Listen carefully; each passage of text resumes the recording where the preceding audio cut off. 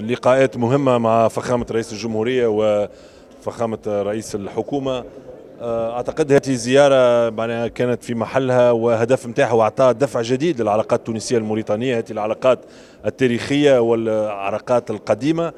فكان هناك توقيع لعدد مهم تقريبا 20 اتفاقية في مجالات مختلفة مجالات التكوين المهني مجالات الصحة الشؤون الاجتماعية الصرف الصحي التعاون الفني التعاون الاقتصادي. فنريد أن نرتقي بمستوى العلاقات الاقتصادية بين تونس وموريتانيا إلى مستوى العلاقات السياسية الممتازة اليوم. فهناك عمل كبير. إحنا كمعناها حكومات نقوم بتوفير الفرص ثم القطاع الخاص واليوم كان هناك لقاءات بين رجال الأعمال التونسيين ورجال الأعمال الموريتانيين وهناك فرص كبيرة للاستثمار والتشغيل في كلتا البلدين. عليهم هم أنهم ياخذوا آه، يقوموا بدورهم توا باش يفتحوا الفرص هذه ويستثمروها.